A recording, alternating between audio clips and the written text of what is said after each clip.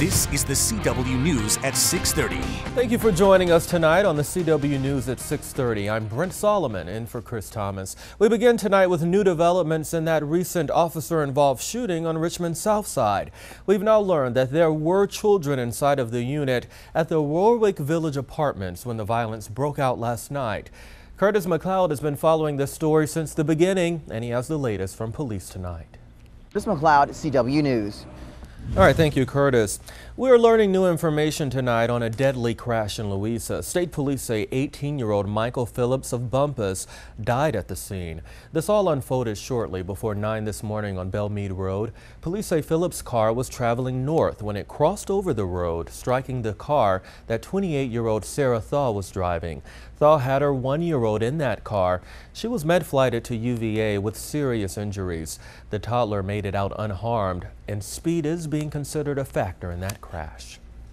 At this hour, police are searching for the driver that caused a chain reaction at Hull Street at a business that you see behind me. Detectives say three cars were involved. One crashed into the front of Jack Rabbit's convenience store on 35th and Hull. We turn it over to Ashley Monfort now with the very latest into this investigation.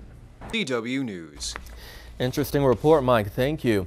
I want you to look at this now. This is the grave of Maggie Walker, the first Bat bank president, uh, that was a female. Conditions at the Evergreen Cemetery, though, have been concerning for years. Now they're getting renewed attention. A groundskeeper tells us in the past the cemetery has had volunteers, but that's no longer the case. Apparently, there are only three people on staff, and they may be in need of help.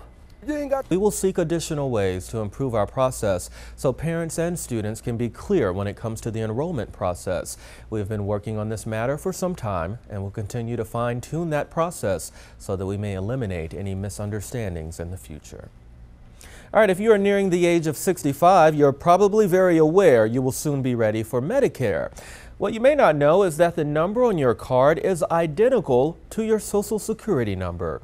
A viewer reached out to us after making that very discovery. Now, Gray Hall has some tips to protect your privacy and explains what changes the government is making. W News. Great tips as always. Thank you, Gray. Well, a Richmond obituary goes viral, but for all of the wrong reasons. Was a 104-year-old woman's obituary plagiarized? What her family is saying when you join us after the break. Plus, Louisa High students kick off the school year in a brand new building, four years after an earthquake destroyed their old one. A look inside is next. W News at 630.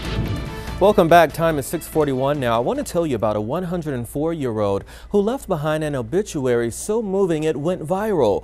But we now know parts of it are not original at all. The obit seems like it's written by the deceased woman herself, but it's actually written by her daughter, still alive, who copied parts from someone else's obituary. Mike Valerio has an explanation now from the family.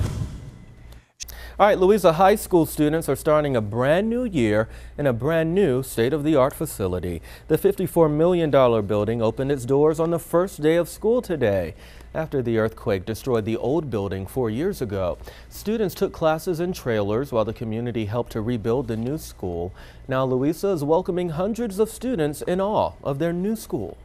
I love now the school even has room to expand, fitting another 300 students in the future. Louisa School District received both state and federal money to help rebuild. In the short term, Brent, it is looking beautiful tomorrow right into the weekend. But for now, you're keeping that humidity down for us, so that's a good thing. Which we Ross. always love at this time of year. Thank you, sir. You bet. All right, well, quarterback Tom Brady back in court today fighting for his right to play the entire upcoming season. This after a four-game suspension for his role in Deflategate. We'll bring you the latest from the courtroom. Plus, is Richmond being dissed by Houston's football team? Find out why the Texans had less than positive things to say about the Redskins training camp. That and more after the break. Have you ever heard of the mobile dating app called Tinder? Well, the company is not too happy with Vanity Fair. The magazine recently published an article on how apps like Tinder are changing how people date. Tinder fired back with a series of tweets attacking the magazine. Tinder says the author never contacted the company for the story and questioned a survey alleging that 30% of its users are married. The Vanity Fair writer responded to Tinder's claims by saying their article isn't even about the app. A little fight there. All right, an award-winning pooch has passed away. You may remember Uggie from the Oscar-winning film The Artist. Sadly, at 13, his owner says Uggie lost his fight to cancer and had to be put to sleep last week. Uggie won the Palm Dog Award for Best Canine Actor at the 2011 Cannes Film Festival.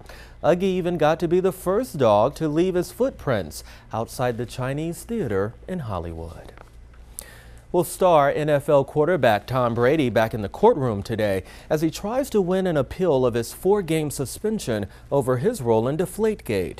Chris Ballone is gathering more now from New York. Now, this season of HBO's Hard Knocks kicked off last night. The Houston Texans are the subject of the show, and the team's trip to Richmond was a part of the opening episode. The show heads to Richmond about 40 minutes in, and Houston coach Bill O'Brien remarks about a lack of energy before Thursday's lightly attended practice. He also comments about no music being played and tells his team to make up for the lack of noise and emotion.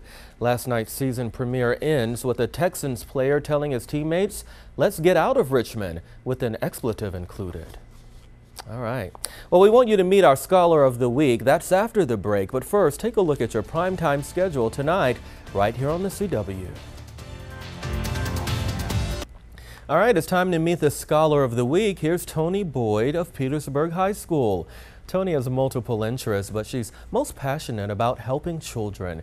She says she wants to one day major in nursing with a concentration in pediatrics at Christopher Newport. Congratulations to our Scholar of the Week presented by Urban Views Weekly. We wish her the best.